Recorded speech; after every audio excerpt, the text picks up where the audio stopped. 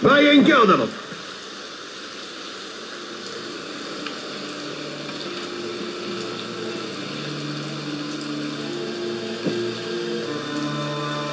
Che c'è? Ti dispiace per lui?